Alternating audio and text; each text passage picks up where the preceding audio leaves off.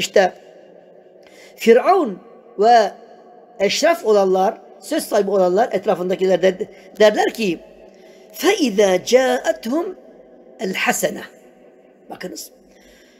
فَاِذَا جَاءَتْهُمُ الْحَسَنَةُ قَالُوا لَنَا هَذِي Vay vay vay vay vay.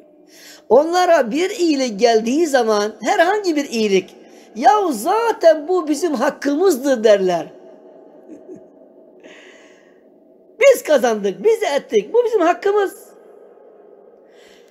وَاِنْ تُصِبْهُمْ سَيِّئَةٌ يَتَطَيَّرُوا بِمُوسَى وَمَنْ مَعَهُ Ve bir kötülük onlara dokunduğu zaman herhangi bir kötülük bu Musa'nın ve onunla beraber olanların yüzünden bize geldi diyor derler. Bu neye benzer? Tıpkı Muhammed sallallahu aleyhi ve selleme dedikleri gibi. Yatatayyarun. Muhammed'in yüzünden bunlar oldu. Uhud'a gidiyor.